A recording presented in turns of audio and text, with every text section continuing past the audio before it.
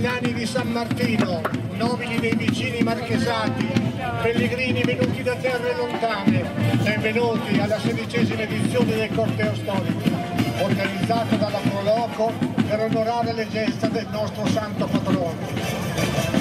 Ecco, tra storia e leggenda che entrano i protagonisti di questa meravigliosa giornata di festa.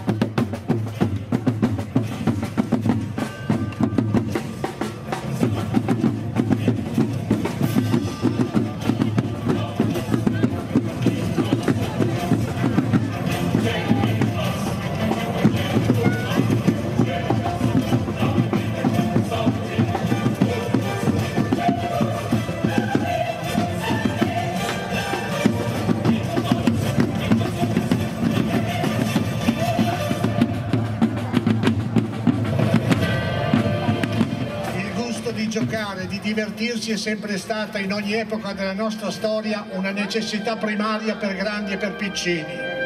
Sotto questo aspetto gli antichi romani non erano certo gli ultimi arrivati.